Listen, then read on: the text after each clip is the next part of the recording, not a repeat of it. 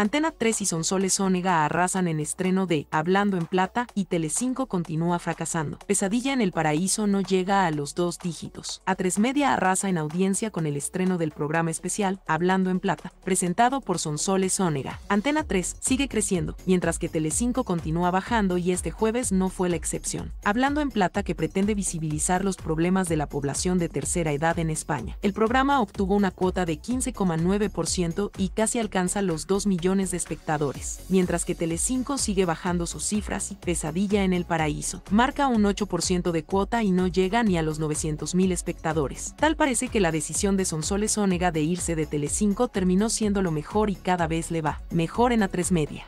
5 alcanzó una audiencia del 10,5% el día de ayer, 5,1 puntos menos que Antena 3, que obtuvo una cuota de 15,6%. Probablemente este sea el peor inicio de año para la cadena de Fuencarral.